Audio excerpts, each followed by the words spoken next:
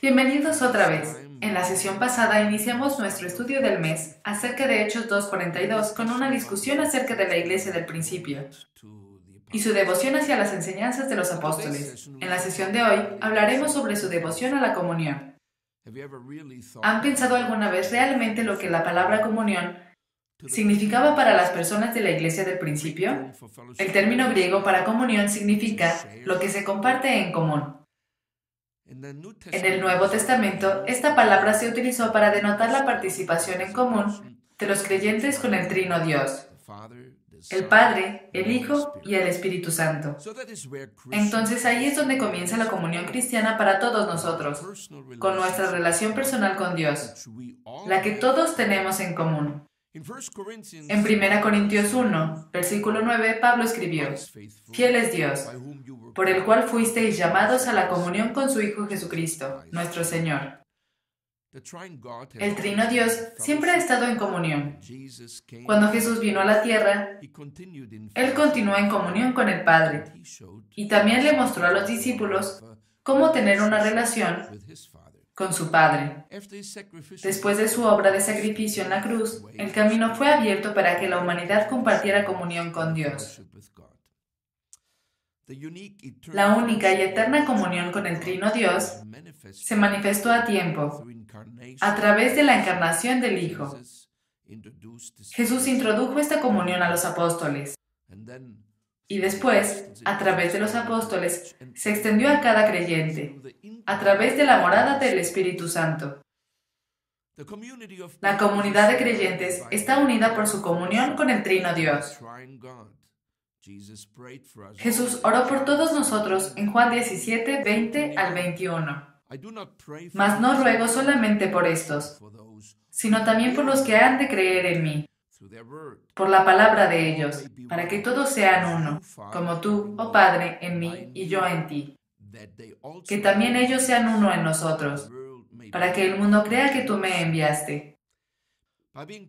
Al ser partícipes en la gracia de Dios, todos tenemos algo que compartir con nuestros hermanos creyentes. Lucas nos informa en Hechos que la iglesia creció en gran número durante sus primeros años. Hechos 2.47 dice que el Señor añadía cada día a la iglesia a los que habían de ser salvos.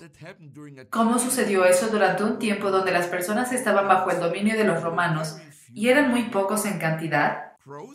El crecimiento ocurrió debido a la disposición de los creyentes a compartir su fe en Jesucristo.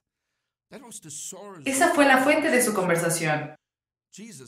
La vida, muerte y resurrección de Jesús, junto con el impacto de su perdón y gracia sobre cada persona, era de lo que querían hablar.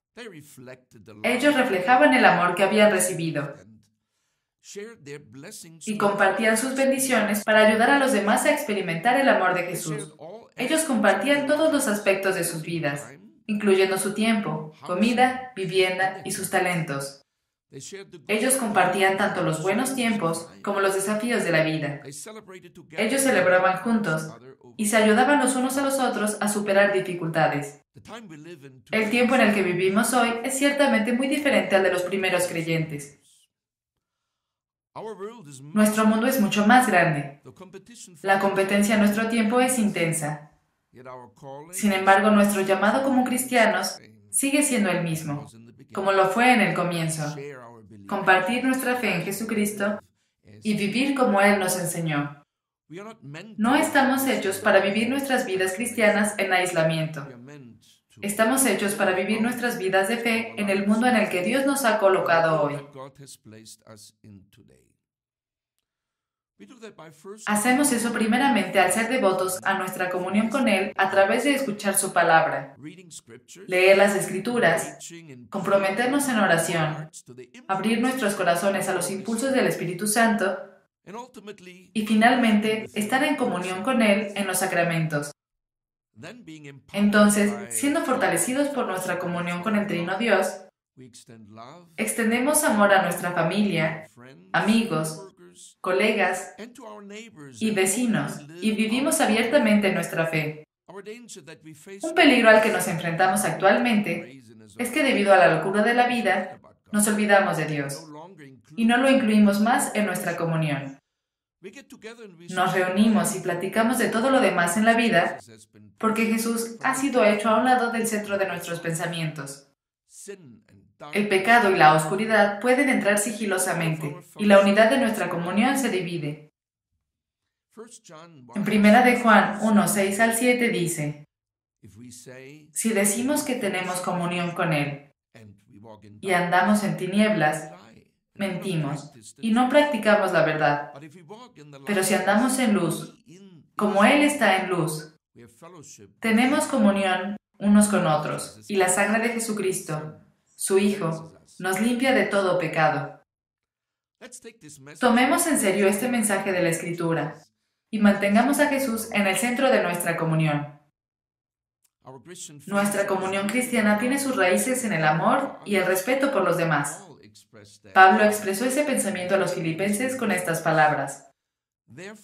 Por tanto, si hay alguna consolación en Cristo, si algún consuelo de amor, si alguna comunión del Espíritu, si algún afecto entrañable, si alguna misericordia, completad mi gozo, sintiendo lo mismo, teniendo el mismo amor, unánimes, sintiendo una misma cosa. Nada hagáis por contienda o por vanagloria.